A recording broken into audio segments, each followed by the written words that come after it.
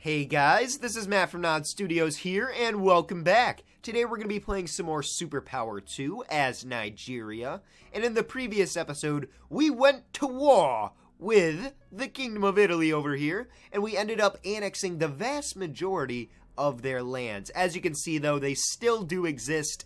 They have a little bit of land there in Albania and also northern Italy, but besides that, you know, they have no power now anybody could swoop them and take them over. They only have 11,000 soldiers. They're slowly starting to build it back up. But other than that, they have no power anymore. They are completely cut down to size. And we also released a bunch of their puppet nations, like Iraq, Egypt, Sudan, those sorts of countries that they basically had power over because they were militarily occupying them. Unfortunately, though, it looks like the Kingdom of Italy's reign has had a lasting effect on the countries that they have occupied. Both Egypt and Sudan, as well as Iraq, all have terrible, terrible GDPs per capita, and their corruption rates are through the roof. And that's mostly due to the Kingdom of Italy because they came over, they conquered them, they didn't allow them to grow, and they basically just stagnated as puppets to the Italian Empire. So, diving into the episode, the first thing I want to go ahead and do is create a new naval unit. So, we're going to go ahead and go into the military tab, hit design, new design, and we're going to scroll down and let's see. Hmm. Uh, let's do. Do we have any aircraft carriers? I don't think we do, do we? No, we do not. We don't even have any frigates. Yeah, we should actually do a frigate instead. Let's go ahead and max out all the stats there for this vehicle. Alright, and we'll choose a nice little spiffy design. I'm gonna go with something very subpar and unimpressive. Um, yeah, we'll, we'll just go with this, because I think it's actually the smallest ship on here. Oh, no. This one is probably the smallest one. Yeah, I think it's that one. This one right here. It appears to be the smallest, and it doesn't look like we can make any changes to the color, unfortunately. So, the reason why I'm going ahead and designing a new naval unit this time around, we don't really need it at this particular point in time. Honestly, I'm fine with where my navy is, and I don't really have too much of a use for it for right now. However, someone in the previous episode suggested a name for our naval units. So I'm going to go ahead and design one and use that name before the series ends, or, you know, before I forget or anything like that. The person who recommended this name was Saad Mohammed or Saad Mohammed.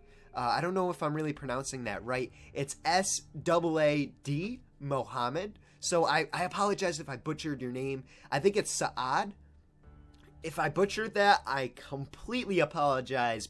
Anyways, my horrible pronunciation aside, he wanted me to go ahead and create a unit and name it Lonely Ship Mark 1. So we're going to go ahead and, oops, spelled lonely wrong. lonely Ship Mark 1. And there we go. We're going to go ahead and create that bad boy in the honor of Saad. So there you go. You've been forever immortalized in our Superpower 2 playthrough. Congratulations. Anyways, guys, besides that, we need to really focus on our economy. And we need to focus on getting the economy better into where we want it to be. So honestly, what I'm thinking of doing right now is just waiting a little bit of time until our debt accrues, and then we could go ahead and drop it on the GSA. It'll increase our relations with them, and we can also spend a bunch of money putting money into the economy and stimulating the economy. And actually, I think I might even do that right now while we have a surplus, because why wait, you know? Why wait for that surplus to be spent up when, you know, we could just invest it? So we're going to go ahead, go into our resources tab, and I'm just going to invest a bunch of money into the various areas of our economy. I'm going to start out with services and then go to food, and we'll see where we end up. I'll see you guys in a little bit when we are finished. And welcome back, everybody. So here we are. I've went ahead and poured a buttload of money into the economy. I think we spent a total of 34 trillion dollars on the economy, just boosting production and stuff like that. I only managed to stay within the services industry. So basically, I put a bunch of money into construction, health and care, retail, legal services, and market and advertising. As you can see, our market share in our production of health and care is huge, absolutely huge. And I just thought that would be a great place to start. And going over to the other side of the ocean and looking at the GSA, we can see that we actually put them into debt.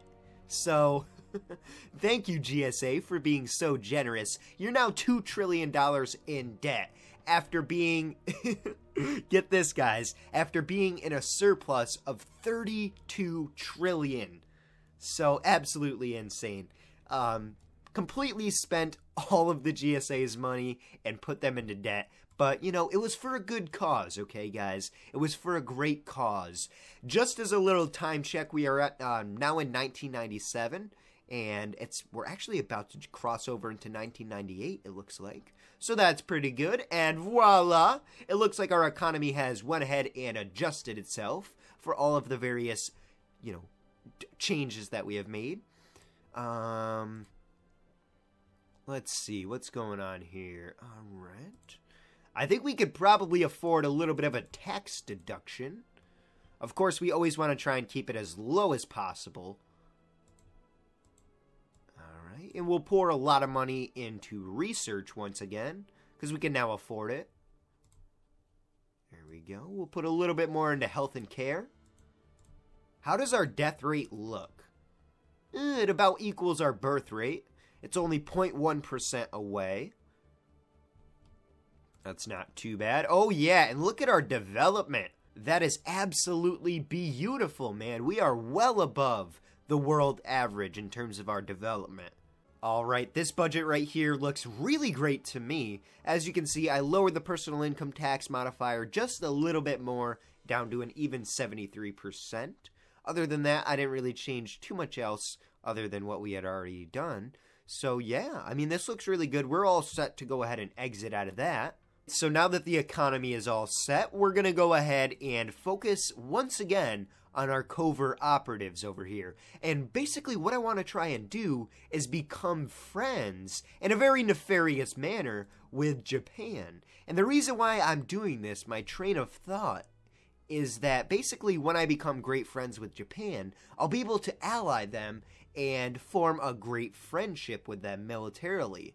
And the reason why I want to do that is because the Greater German Reich also has an alliance with them.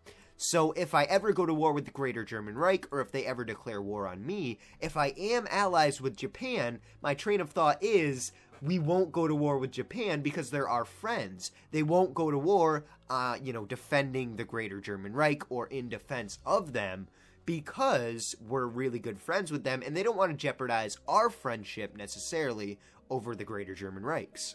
Alright, so what I'm going to go ahead and do is move some of our covert cells that are in the Kingdom of Italy over to Japan. So I've already moved two of them, and I'm going to take the last one and actually move him into Kenya. And the reason why I want to do this is because I want to stage a coup d'etat in Kenya in order to get better relations with them and maybe create a sort of puppet situation or something like that so that way we can have you know, another ally to rely on and someone that we don't have to worry about hating us like the rest of the world does. Also, really quickly, I'm going to go ahead and activate our foreign cells that are in Brazil, Uruguay, and Argentina. We'll just do uh, one of them for each for right now.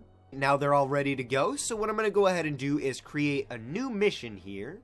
And really quickly, I just want to once again look at their corruption rate.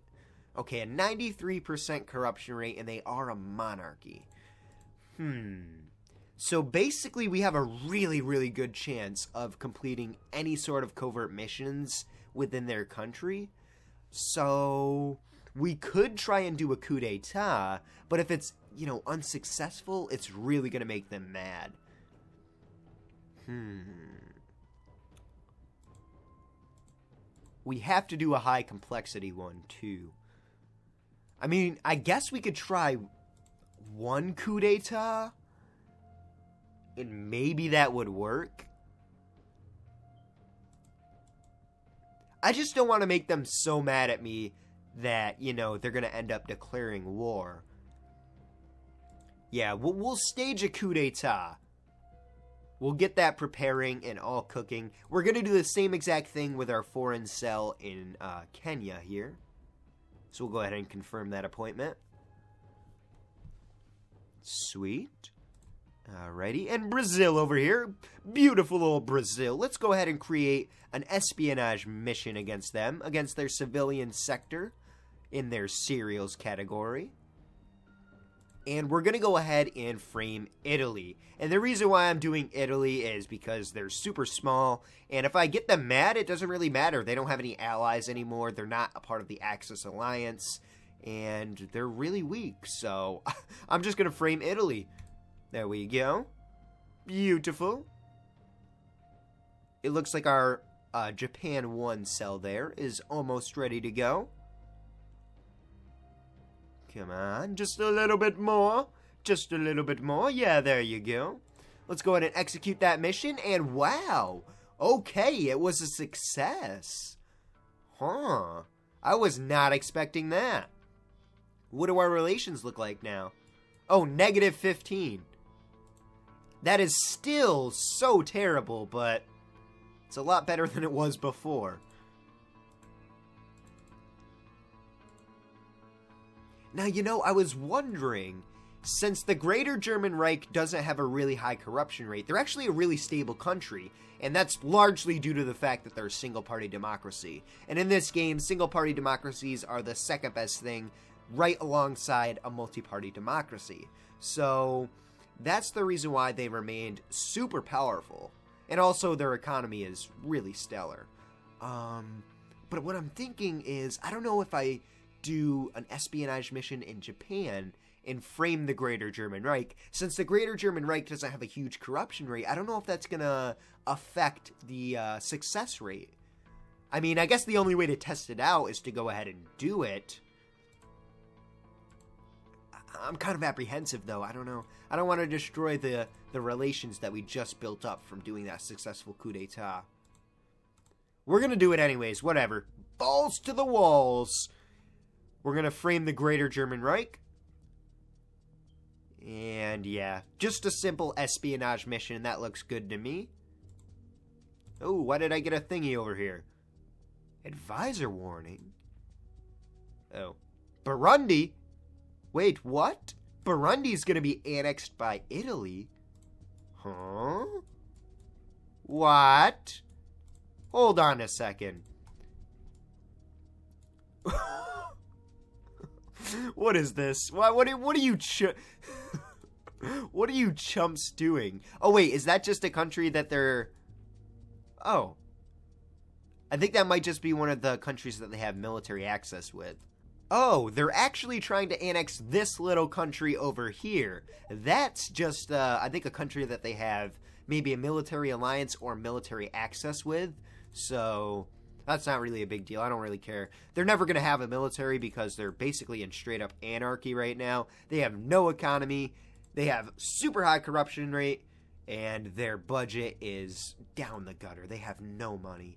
So I'm not really worried about that. But yeah, they are annexing a country that they control in Africa.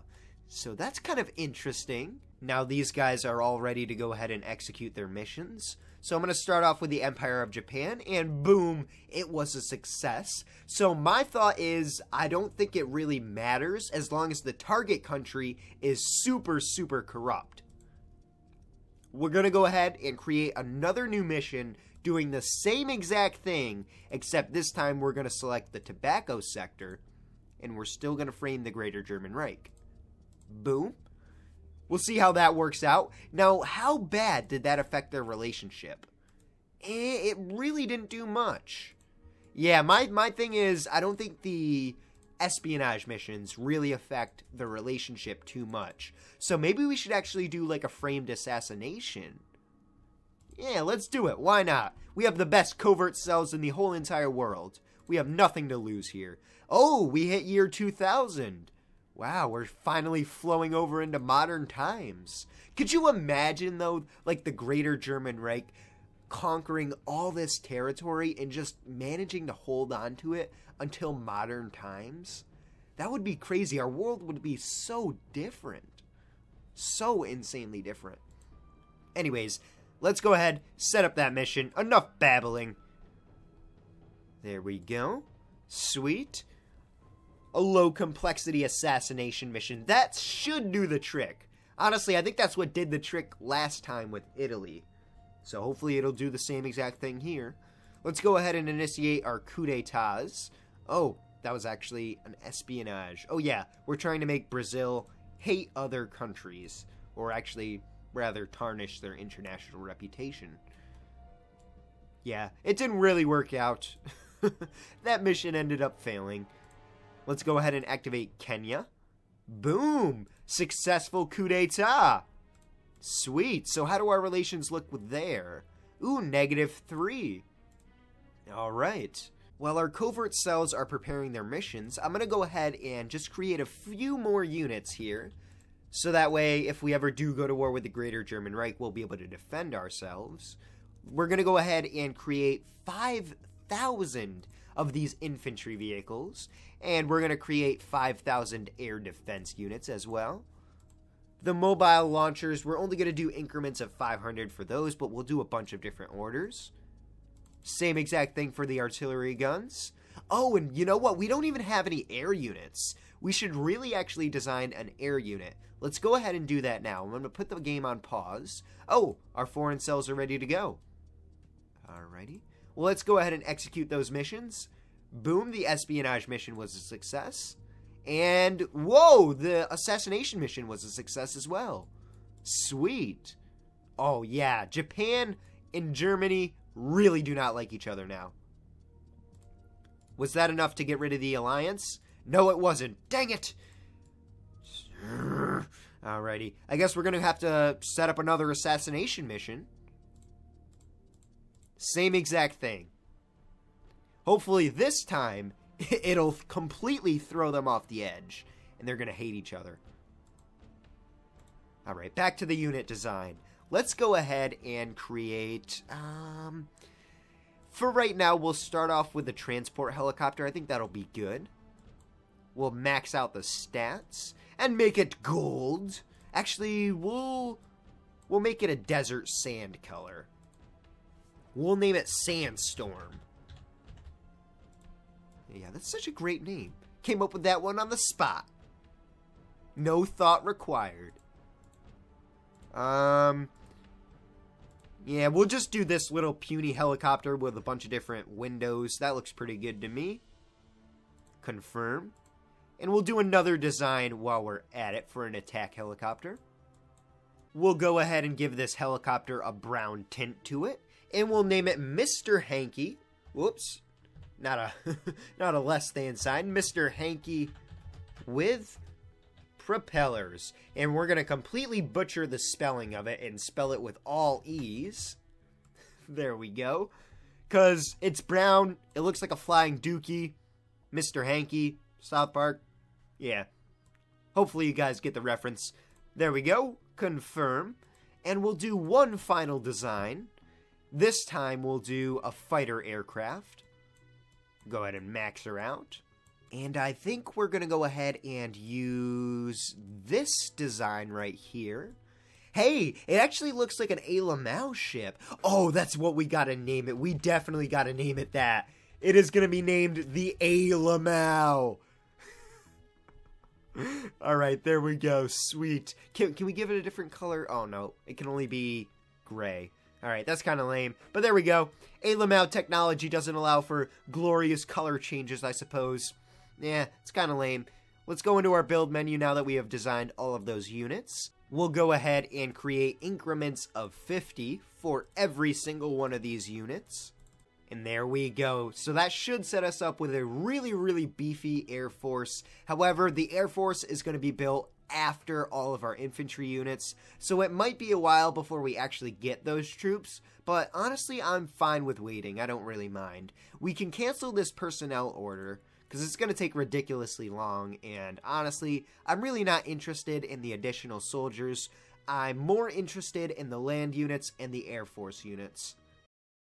Ooh, and I think the foreign cell here in Japan is ready to go ahead and execute its mission. Let's go ahead and do it. Oh, no! It failed! Oh. Yeah, Germany did not approve of that. Okay. Yeah. That's not good. Okay, now we're definitely going to have to wait a little while before we go to war. So I think I'm going to let four or five years pass to go ahead and let our relationship recover. And I'll be back when that's all finished. Welcome back, everybody. We're now in the year 2005, and our relations are looking better than they ever have since the start of the game. Absolutely glorious, guys. The world does not look like a Kool Aid man anymore. I'm very happy about that. So I think I'm going to go ahead and end this episode off here, guys. Thank you so, so much for tuning in. If you enjoyed this one, please leave a like, please comment, and please, please, please subscribe. It really helps out, guys, and it really does mean a lot. So once again, thank you so, so much, and I will see all of you lovely, amazing people in the next episode. Bye bye.